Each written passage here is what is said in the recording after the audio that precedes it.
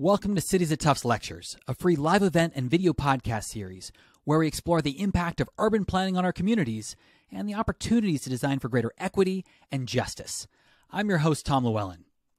We're switching things up a bit for today's show. Our planned speaker, Yasminah Beebeejaun, was unable to present last week, so we're using this opportunity to take a deeper look into Cities at Tufts as a whole with an extended conversation between myself and Professor Julian Agyeman, over the next 30 minutes, we'll discuss Julian's path to Tufts University, the genesis of the Cities at Tufts Colloquium, how the speakers are chosen, highlights from the past few years, and what's coming next for this open education program. Hey, Julian, thanks for uh, joining us for Cities at Tufts and being in the hot seat for once. Thanks, Tom. so, just was wondering if you could kind of just start by talking a little bit about where your interest in urban planning came from, kind of how this led to your career. Well, Tom, I started um, as a basically as a geography teacher um, up in the English Lake District in a city called Carlisle, and what I was really doing was taking kids out into the national park, and I was doing very kind of green work, if you like. And for a few years, that was quite satisfying because my first degree was geography and botany. I was a biogeographer, an ecologist, but an opportunity came up in London in 1985 to work at what was called an urban study centre. So it was like the urban equivalent of a field study centre. And uh, it just rocked my world. All of a sudden, I realised that, you know, a love for the environment wasn't enough. We needed policies and planning, um, especially in our cities, that really took account of issues of equity and social justice you can't look at urban field work or urban street work without understanding that some areas are better served by buses, some have more trees, some have more green spaces, and those are usually linked to issues of uh, race and class. And so this really, I think, got me into thinking about cities uh, in a different way to ways that I'd been trained as an ecologist. And it really went on from there. I did a, a master's degree, I did a PhD, um, and and got very involved in urban planning. And part of the rationale as well is that you know the urban is the home for a majority on our planet and will continue to be that. Yeah, and and how did you get to Tufts? So I um, I was running my own consulting business in London uh, in the early nineties really riding the wave of the highly successful, um, if you want to call it that, 1992 Earth Summit. So there was a flurry in Britain in the early 90s of local governments wanting to know about sustainable development. What does sustainable development mean at a local level? So I was doing a lot of training work with a, a whole bunch of friends of mine. Um, and I also was just finishing my PhD at the University of London. And I thought, you know, it'd be nice to have a year um, to go and teach in an American university just to see if I liked it. And I taught at a little school called Slippery Rock University of Pennsylvania, just north of Pittsburgh. And I decided I liked it, but it was only a one year contract. And then two jobs came up. One was um, in Vancouver at Simon Fraser University, and then the other one was at Tufts. Um, and when I saw the job description at Tufts, I thought somebody wrote this job description for me. Um, I mean, it was literally everything that I wanted. And 23 years on, I still think that way. Uh, I'm still invigorated by uh, and excited by the, um, the job that I have and the potential that it still has. Uh, so, so that's how I got to Tufts.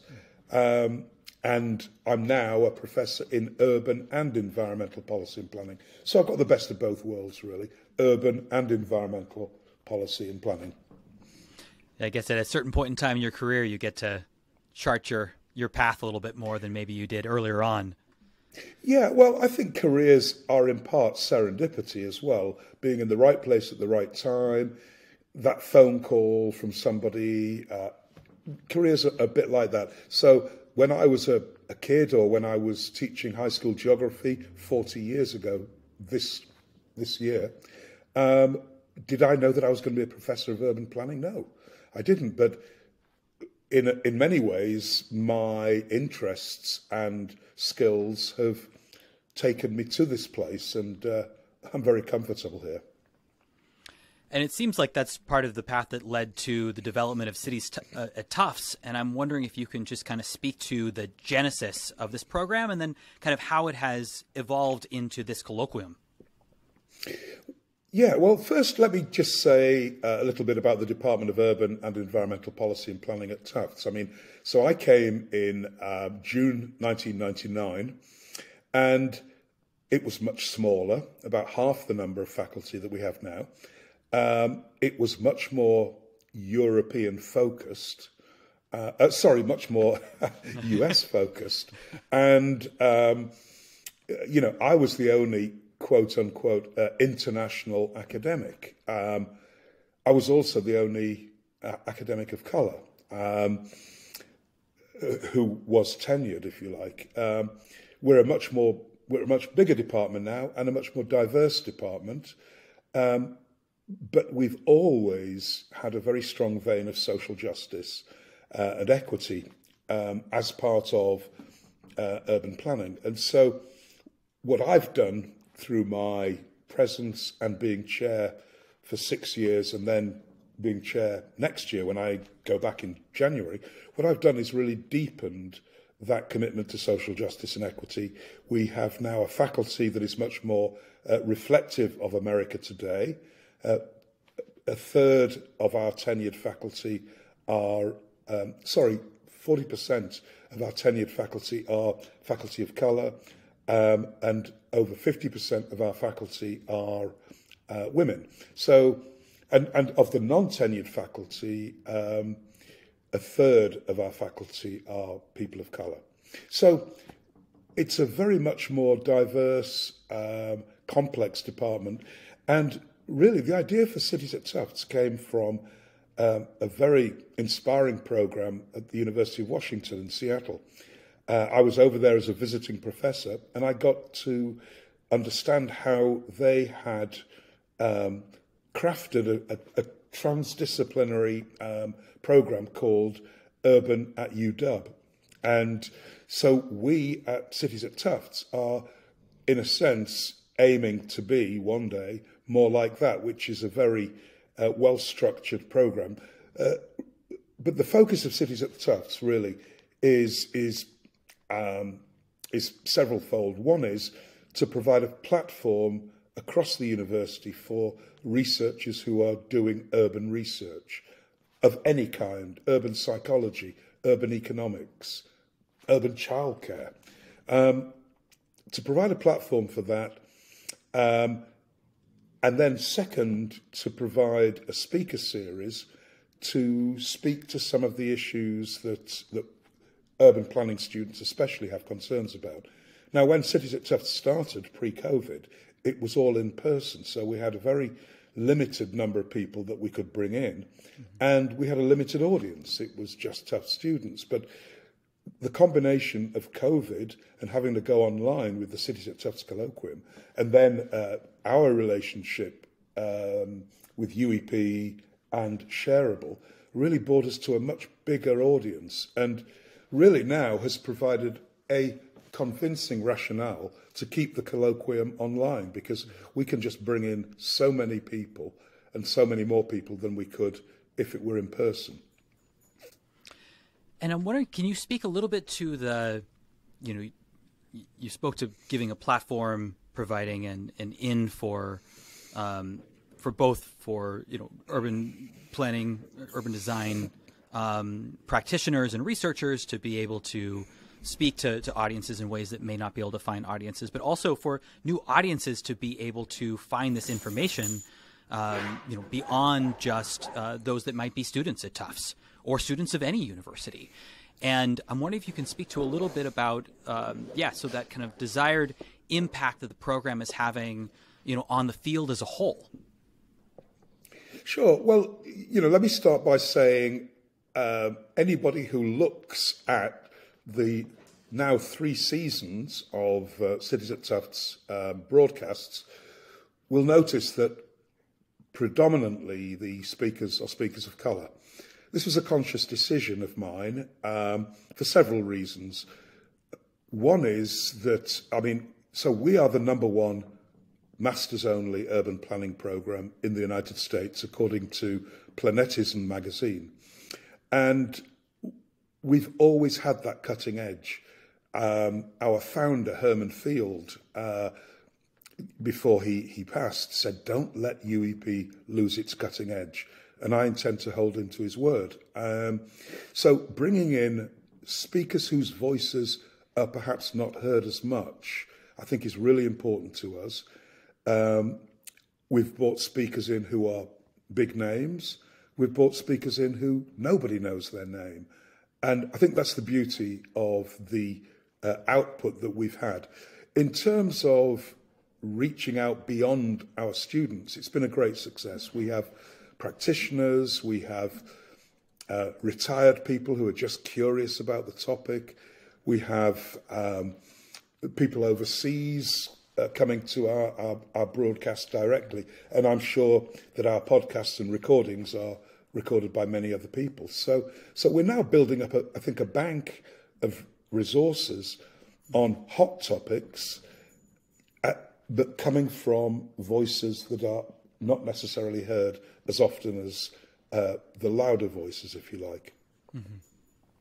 Yeah, I mean, I think you just spoke to that very well, but good examples of that is, you know, having Kate Raworth come and speak and talk about donut economics and the work that's happening around the world. Uh, you know, and then also having somebody like Rashad Williams, you know, who is an up and coming academic talking sure. about models of reparative planning and looking at, uh, you know, what crisis anti-racism and reparations can look like in cities like uh, St. Paul and Minneapolis, and sure. can go really focused and also be really broad and draw in lots of different audiences, but also be able to convey many different aspects of, of urban planning and design, uh, you know, to audience of, audiences of all kind. Yeah, absolutely. I mean, you know, and if I were to pick out, uh, you know, a highlight, it was uh, getting Kate Raworth uh, to, to, to do a fantastic presentation uh, on donut economics, which really fits very well with my concept of just sustainabilities. This idea that we mustn't transgress the environmental ceiling, but we also mustn't let people fall below the social foundation. So that space between the ceiling and the floor is this notion of just sustainabilities or the donut uh, of a safe, an op- a safe operating space, a regenerative operating space for humanity. And I think there's it's an example, you know, a great example of, and that was an early on talk. You know, I think sure. we had that back in the first season. Um, but there's there's been a lot of really amazing guests, and I'm wondering if you could just speak to any other ones that kind of um, kind of raised the top in your in your memory. Well, yeah, um, I was I was trying to look at the, the list there because there's so many of them, but I can't do it because yeah. it's going to light up my eyes so much. You know, to pick out favourite moments would be, uh, it, it, just wouldn't work. But we've had, you know, everyone, like, like you say, I mean, at the moment, I'm thinking so much about the work that Rashad Williams has done and how it coincides with my work about the shift from racial planning to reparative planning. Um, and what we're finding is that there are good examples of Evanston, Illinois, for instance, looking at reparative planning in terms of housing policy. Um, Minneapolis is looking at its parks, its fantastic legacy in parks, in terms of increasing access to those who were denied access. And so, um, what we're seeing is cities are starting to shift on a piecemeal basis towards reparative planning, but we've yet to find where is the city where the paradigm has shifted. We are going to change our whole urban planning effort towards reparative planning. That's the goal. So that was a, highlight. Um, uh, early on, Dean Saitta from uh, University of Denver talks about intercultural urbanism, which again is very similar to my idea of just sustainabilities. Um, you know, um, people talking about punitive cities, how cities can be punitive.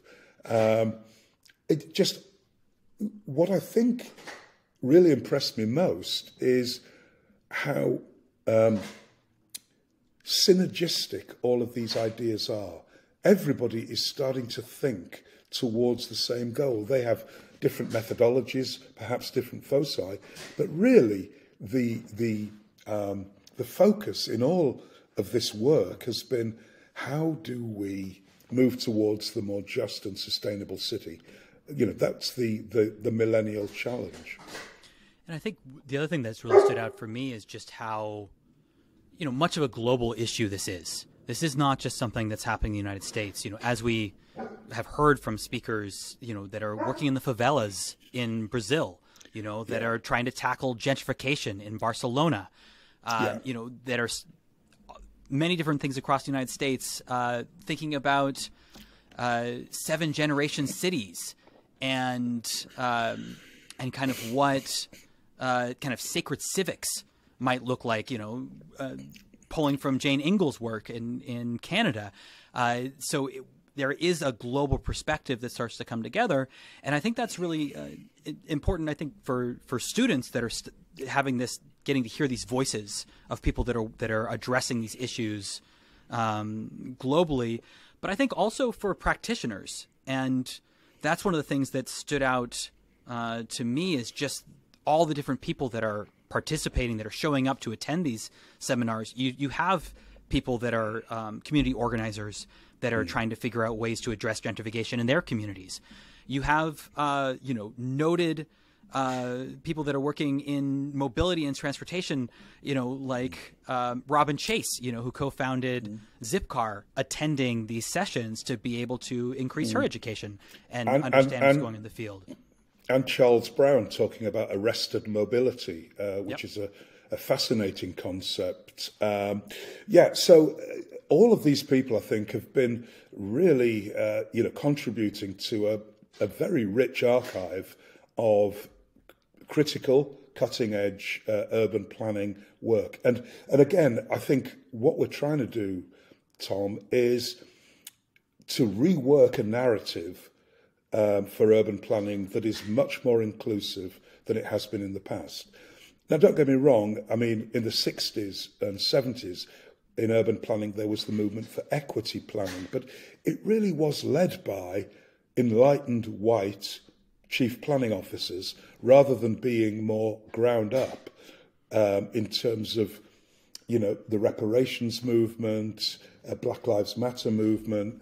These movements are starting to develop a new narrative, and I think this is one of the things that we're capturing in Cities at Tufts.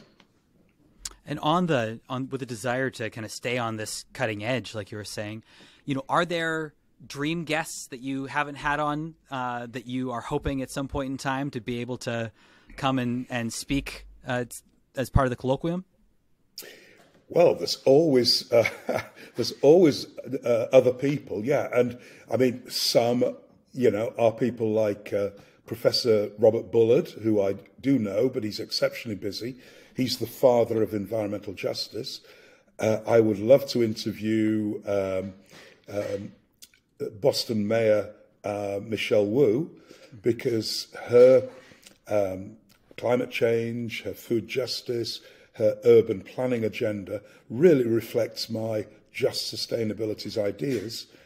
Um, it would be nice to perhaps have somebody like Secretary Buttigieg uh, to talk about uh, freeway removal and the um, the funding for the so-called Reconnecting Communities program, because this program is a reparations program. Uh, perhaps the government doesn't use that phrase so much, but you know, if we want to heal communities, if we want to reconnect communities by taking down freeways, then that is an act of reparation. Yeah, I think it's uh, those would all be amazing guests. And also, there's some pretty wonderful guests that are coming up. You know, in the spring semester of you know of 2023. You know, folks like Andrea Roberts at the University of Virginia. You know, who is a planning historian, theorist, and public humanities scholar. You know, who has um, was the founder of the Texas Freedom Colonies Project. Uh, you know, you've got uh, Vikas Mehta coming from University of Cincinnati, um, you know, who um, is focused on kind of urban streets and the heterogeneous, multicultural, multi-generational, and multi-use public space that streets can and and maybe should be. Uh, you know, the list goes on. Steve Kadish from from Harvard, Aseem Inam from Cardiff, uh, and so the the program I think is is continuing in an exciting direction, and I, I, think that we'll be able to get to bringing in some of those speakers that you referenced. Oh, t- totally. Well, you know, I mean, I know you're going to ask me, you know, how do you choose guests? Well, yeah. they're all they're all FOJs, friends of Julian, uh, and this is payback time. Um, no, these these are all friends, and um, in our network, we have a kind of reciprocal agreement that, you know, you do this for me, I'll do the same for you. And so we are elevating voices of urban planning academics, urban design academics like Vikas and Aseem, who, again, I'm not saying we wouldn't be heard, but we want to be heard on our own terms. And so, so we are elevating each other's voices, I think, uh, in this process. Yeah. And that's an, a really important aspect of of strengthening the field. You know, it's yeah. it's it includes the lifting up of these voices and providing this information to the next generation of urban planners. Sure. Uh, both very key kind of aspects of that. And kind of speaking of of providing a, a platform and how you know allowing people to speak on their own terms and be heard and kind of amplifying that. Um, wonder if you can just kind of speak a little bit to how this partnership with Shareable has been able to kind of increase the reach and impact of Cities at Tufts. Yeah, I, it, it's.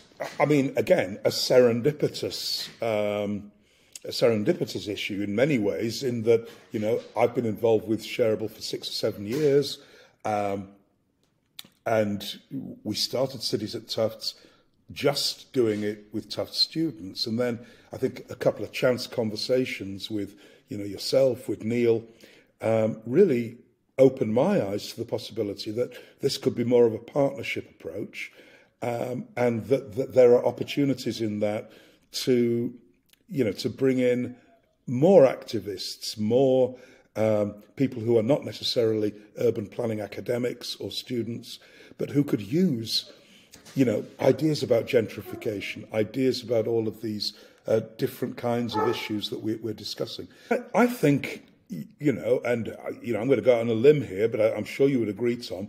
I think we are developing the finest archive of critical, underrepresented voices who need to be heard, especially by um, activists, planning students, planning other planning academics, um, and what Shareable has bought through its media savvy that we don't necessarily have is is a, a much extended audience potential, if you like. Um, you know, I would say, and you probably have the data, but probably at least half of our audiences are bought in by uh, by Shareable and its networks.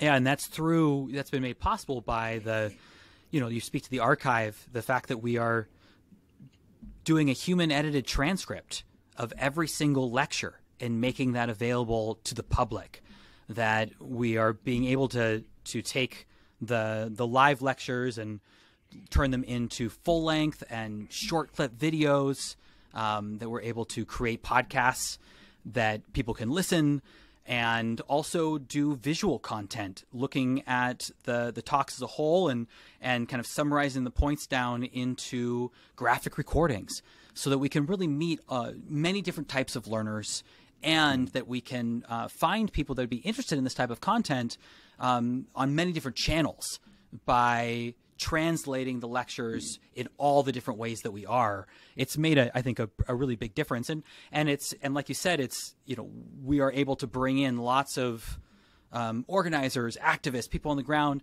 and the larger international network that of of readers and practitioners that shareable is a part of um, is a kind of a, a great example of the types of people that are showing up to to participate in this series.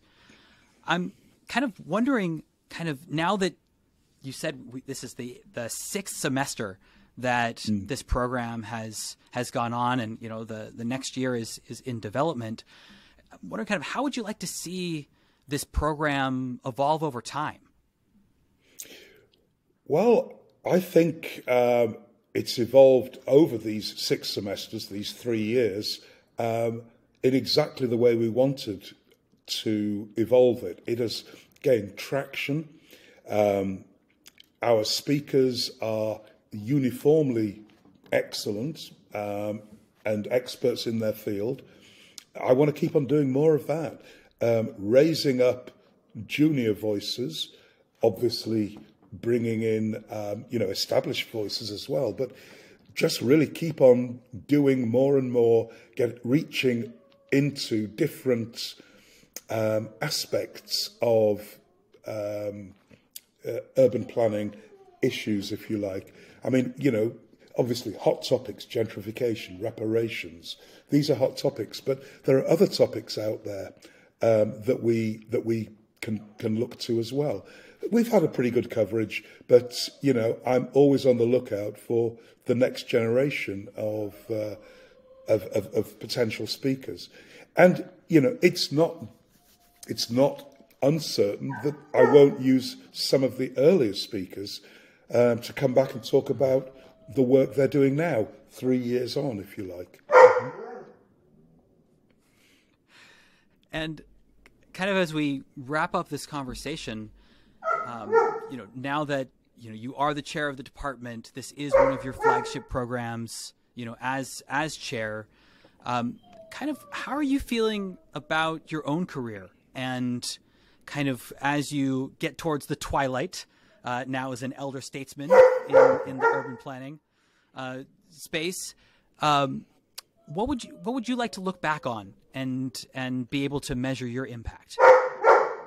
Well, I don't look back, Tom. I just keep looking forward. Um, and you know, I've got so many projects and so many ideas uh, for the future in terms of new new books, new new additions to the book series that I'm series editor of um, new ideas for articles and directions for local environment, the International Journal of Justice and Sustainability, that I was co-founder of nearly 30 years ago and am editor-in-chief of. Um, so uh, I don't take my legacy lightly, and, and obviously I am at this time, you know, thinking about legacy issues. But I think with the impacts that I've had in so many aspects, from writing to growing a department to editing a journal to being series editor of two uh, very well received book series and now the you know the co-archivist of uh, cities at Tufts and developing a, a, a brilliant archive you know I'm, I'm looking back um, in a way that simply drives me forward more realizing you know we're doing the right thing we've hit the mother lode. Let's let's mine it for all it's worth, and that's that's what I intend to do. All right. Well, thanks so much, Julian. It was great getting to kind of dive into the the history, your personal history, but also the history of this program at Cities at Tufts and and some of the highlights and kind of where things are things are at and where they're going. I think that was a a, a really kind of important way for people to get a better idea sure. about why it is that this program exists and what we're hoping to achieve.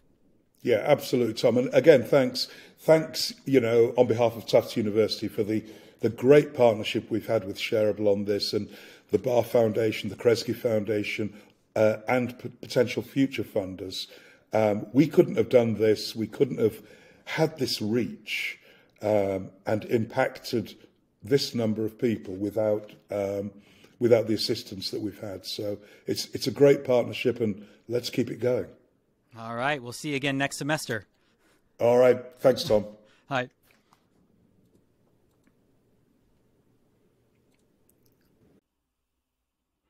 We hope you enjoyed this week's episode. You can access the podcast, transcript, and graphic recordings of my conversation with Julian on shareable.net.